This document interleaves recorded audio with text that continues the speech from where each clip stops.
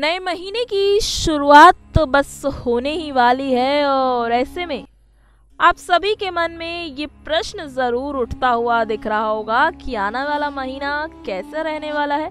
क्या कुछ उतार चढ़ाव हमें देखने को मिल सकते हैं? तो आज हम आपको अपने इस रिपोर्ट में खासकर धनु राशि वाले जातकों के लिए बताने जा रहे हैं। उनके लिए फरवरी का महीना कैसा रहने वाला है?